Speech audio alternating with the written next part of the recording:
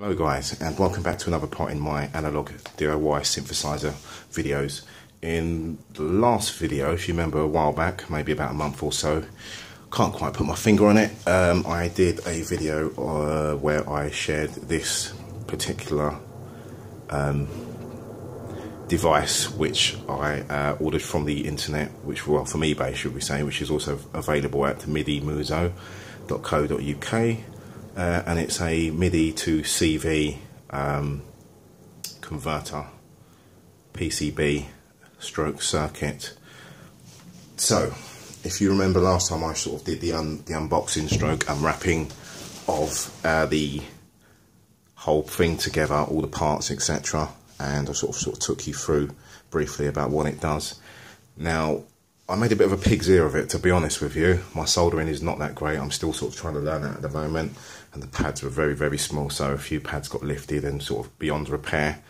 So I sent a message to the guy and said whether or not he actually does this in a pre-assembled kit. And his answer was not at the moment, in a few weeks. So I left it a few weeks and waited before it popped up on eBay, to which I have just got in the post this morning. So what we're going to do is have a little unwrapping and have a look at the, shall we say, second edition. Now this is pretty much the same thing I'm hoping. I haven't, you know, I've just seen the pictures on eBay and thought I'll just take you through it. So if we have a look, this is what we get again. We get a leaflet with all the, uh, the schematic for it and we get an information sheet so this is the board. So if we have a look here, and we can see it's nicely wrapped, and it's been stapled together. Now, let's have a look to see what we got. And so here we have a pre-assembled version. Look at that. There we go. And if we look, we've actually also got little 3 point, I think this 3.5, it's called 3.5 jacks Beautiful. Check it out. There we go. So it's pretty much exactly the same thing, but we obviously we've got um, SMD parts, surface mount components. We can see we have the various chips there and that's the trimmer chip because we can have this from 1.2, 1.5 and 1 volt per octave settings.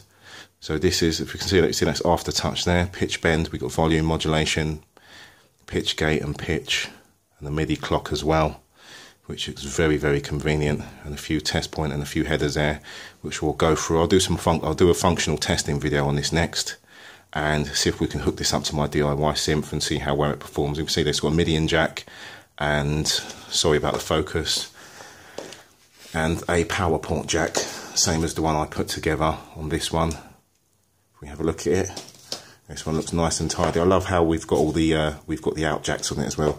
Be interesting to see if I can make a housing for this as well, some kind of circuit, or actually, you know, when it comes to actually putting my synthesizer together properly on a PCB and everything, I can kind of incorporate this as well.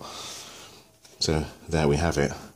Anyway, uh, please go to midimuso.co.uk for more information, or you can have a look on eBay and just search for.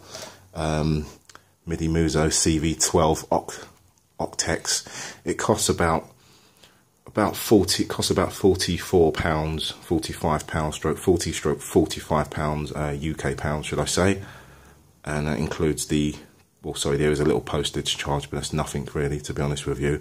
I mean for what you're getting I think this is really good value for money. It's all made it's all done boom ready to go anyway, like I said, I'll be back very, very soon once I've sort of had a little play about with it and I can show you some uh, functional testing videos and see how we can get this working and how you can, guys, can uh, get hold of this and probably use this to your, or use this to your advantage or make good use of it, should we say. All right, anyway, I will be back soon, like I said. Take it nice and easy, people. Soonage.